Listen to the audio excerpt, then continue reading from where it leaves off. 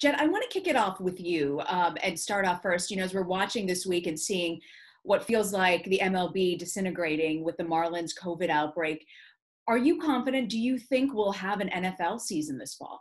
I, am very confident. Um, one of the things that we've invested in is Leeds United, um, and they won promotion this year, the EPL. We invested two seasons ago, and Leeds does not have nearly the financial wherewithal that the NFL teams have and the NBA teams and, and the entire EFL. But they had, I think, two or three positive tests out of 1,500 players, and in the last, you know, month and a half, two months of the season.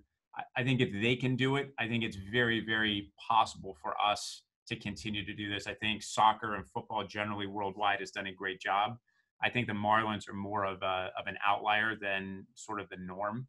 And I hope that teams see how important it is that you you stick to protocols, you wear a mask, you you do testing.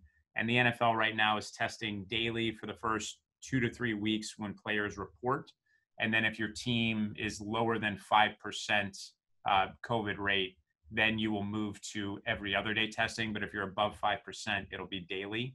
And I, I think we have great protocols in place. Now, I don't know that we're going to see a ton of fans in stadiums. I, I think that can certainly impact the business of, of the sports teams this year.